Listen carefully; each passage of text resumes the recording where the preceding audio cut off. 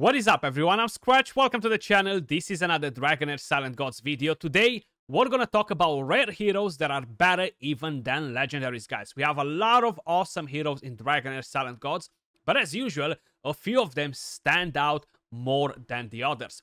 Before we move over to talk about all that, I just want to say a big thank you to Dragonheir for sponsoring today's video.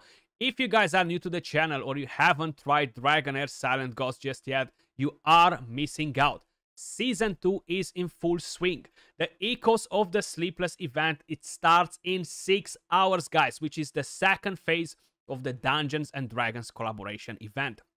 So if you want to help and support the channel as well, guys, you can download the game by using my link in the description down below or in the pinned comment or by scanning the QR code you see on the screen. And talking about some amazing rare heroes that we have in Dragonheir Silent Gods, I'm gonna explain you where you can actually use the heroes, how you should build them as well. So we're gonna start with the fire element.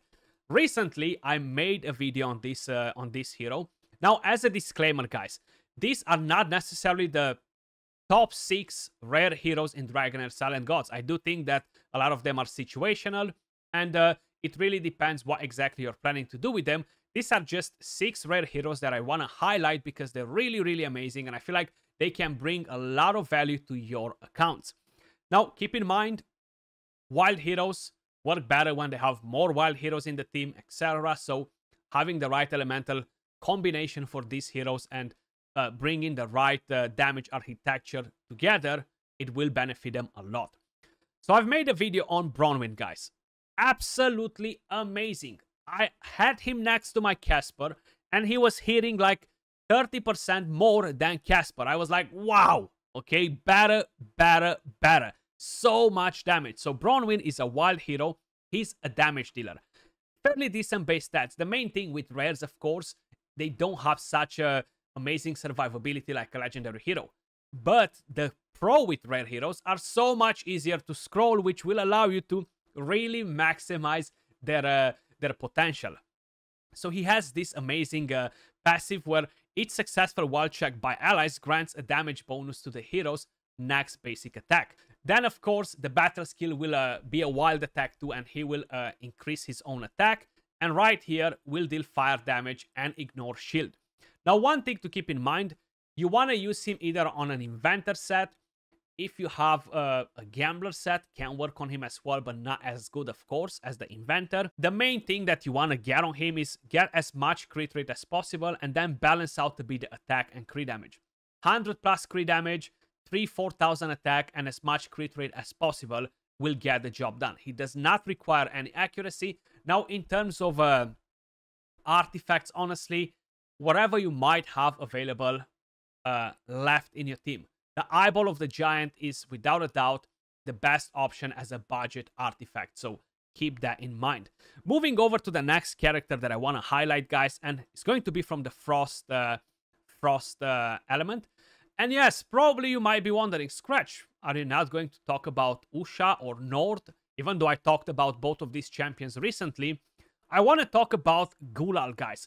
So this is a hero that we are all getting for free when we start playing. And he might not be the craziest damage dealer. He might not be necessarily the most insane hero in the game, but he has a trick up his sleeve, okay?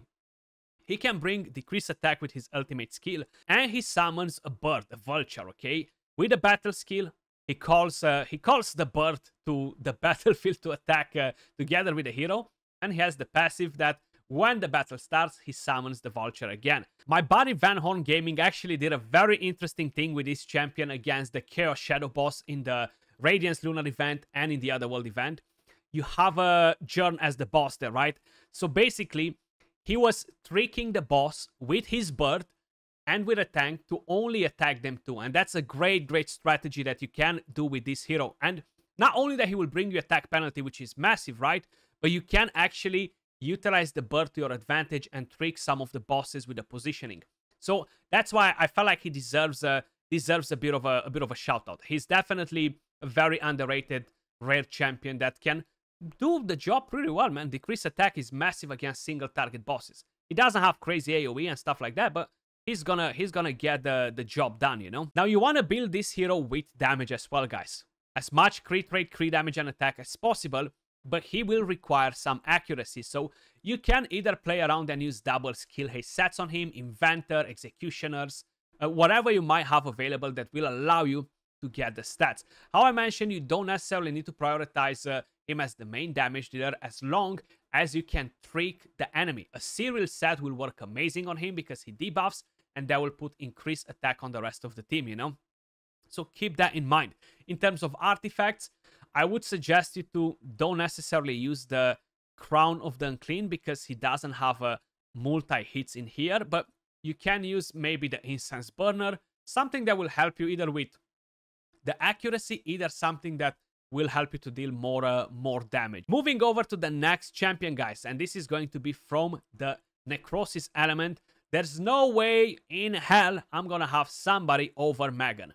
I'm just loving this champion to that, and I feel like the main reason why is because Necrosis just doesn't have amazing support, and she's all we've got most of the times, especially if you're not the if you're not a Kraken that has all the champions, you know. So Megan, top notch. You want to build her for season 2, for example, on a Moonlight set. So whenever she's using the ultimate, you're gaining more healing. And like that, she will have some extra skill haste. This passive is so underrated. She can cleanse the defense down on your entire team when she's using the ultimate. Amazing for the Vortex. I've put quite a few videos on her out there, guys. So definitely don't sleep on Megan. The battle skill is super strong. So you can actually use this for PvP too you have a champion that's a massive threat at the very front of, uh, of your team. He takes damage, and Megan's battle skill is quickly going to jump on to assist that champion and giving him 25% ultimate energy, allowing that champion to quickly use the ultimate skill. Maybe a Voresh, maybe a Tamar, maybe a champion that will quickly turn the tide of the fight, you know. So definitely, definitely a solid, solid uh, skill. The ultimate defense up the smaller version, and recovery over time on all of your team. As an artifact, guys, I find it pretty hard to find the, the perfect artifact for her, I'm not going to lie, because the recovery over uh, over time, I don't think it gets increased by uh, the book that increases the healing, you know, so maybe the candle is a good artifact for her battle skill, you know. I find it pretty hard, honestly, to uh, to pick the the perfect artifact for her. But I feel like the candle or a or a something like that is going to to do a good a, good job on Megan. But a moonlight set is the way to go on uh, on Megan. Moving over to the next hero, guys, from the Radiance element. Right here as well, we have we have quite a few solid ones. Walby deals an amazing damage. Kaleido is a decent one, but again, Quarian is just too too powerful, too powerful, and I drop legendary heroes out of my team to bring him in. That's how impactful this rare hero is. He is a support hero. He increases the healing with a with a passive, with a battle skill, grants a shield and recovery over time to one ally, and the ultimate heals all your team and gives defense up the small version. What makes him so powerful is having this short cooldown on the ultimate skill, 9 seconds and 16. Again, you want to build this character on a Moonlight set with as much skill haste as possible. And yes, you should definitely use the book on him that will increase the healing. No questions asked because that will be very, very helpful on a on this character, you know. And he's great against Chaos Shadow bosses. Uh, great against a lot of uh, a lot of uh, content in the game. The new boss that will come with the Dungeons and Dragons collaboration event. If you need him for some of the dungeons, super strong. Especially that he has that amazing uh, battle skill that shields and uh, gives you gives you healing. You know, definitely do not sleep on Quarian because you're missing out. No questions asked. You are missing out on him if you're not uh, if you're not using him. You know. Then moving over to the next elemental affinity, guys, and we are talking about the lightning element. Here we have quite a few interesting uh, ones as well. We have some nice uh, damage dealers for Dauntless, like we have uh, Vanny, we have Altair, we have uh, Yagnats. But I want to talk about Irina. It's a no-brainer. She is a powerhouse, okay? If you want her for the Feymender, if you want her for the Pillar of Trials, if you want her for Dungeons, if you want her for Arena, she is going to do an amazing job. Now, she's a support hero undercover. With a passive, she's actually going to grant a shield to the nearest ally. With a battle skill, she's going to unleash a, uh, a chaining uh, damage to enemies, which actually hits pretty hard with a very nice initial recharge time 3 seconds and 8 seconds. Very, very strong. The ultimate decrease attack, AoE, and damage, and has a chance to dispel a buff from the enemies. Now, she is amazing on a stun set for the Pillar of Trials. She's amazing on a stun set for Arena, even for the Feymander. If you want her to do damage, the Inventor set is probably the best on her at, uh, at this moment. You can run, of course, a Gambler. You can run a Emperor or whatever Rat, whatever sets we actually have in Season 1. Season 2, I forgot the, the names from Season 1.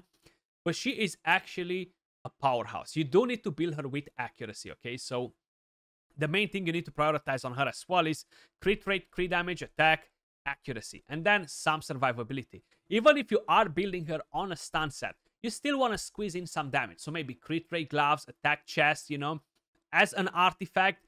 If you are planning to build her uh, with a stun set, yes, the eyeball of the giant is great, but it's not a necessity. You can go for a, something else like an incense burner. The more times she's uh, dealing damage, the more chances she has to stun the enemy, you know, and that will help you with the accuracy.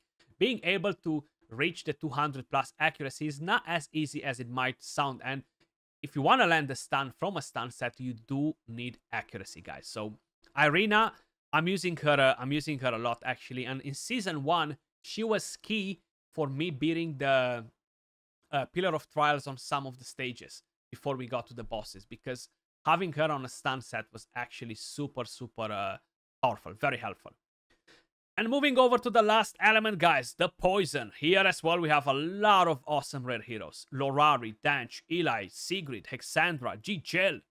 But I want to talk about Eli, guys. You know why? I feel like I've I've been talking about Sigrid for a long time now, and Eli, he is more useful right now in, in the Dungeons and Dragons boss because Sigrid, she's a support hero, so she doesn't really have a damage build.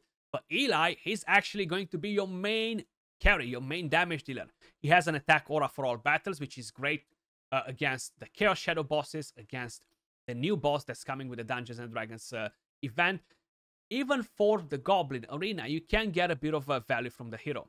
The passive will deal derivative damage whenever the enemies are uh, under poison. The battle skill will put attack uh, up on him and will deal damage with a chance to inflict poisons. The ultimate shoots straight ahead and shoots three times, dealing a lot of damage. Now, he is a great, great hero to have the Witch's Remains or the Crown of the Unclean artifact on him. You do need accuracy. Poisoners are much, much harder to build uh, comparing them with the rest of the heroes if you want to get a lot of damage from the uh, from the passive and poisons, you want to have some enlightenment. You want to have crit rate, you want to have crit damage, you want to have attack, you want to have accuracy. So you need a lot of stats on this hero. When we are talking about artifacts, I would really suggest you to use him with the defense down artifact because that will give you a lot of value because of the multi-hits. Let me know what other rare heroes you guys think that are better than some legendaries in Dragonheir Silent Gods. Again, you know you know the drill. Dragonheir actually does an amazing job by uh, allowing rare heroes and epic heroes to be part of meras, you know, like being strong heroes, which is great. Not everything is about uh, legendaries. Now, that was all for this video, guys. Let me know your thoughts in the comments down below. Thanks again to Dragonheir for sponsoring today's video. And if you guys want to get involved, you can download the game by using my link in the description down below or in the pinned comment or by scanning the QR code you see on the screen. I'll catch you all in the next video. Peace.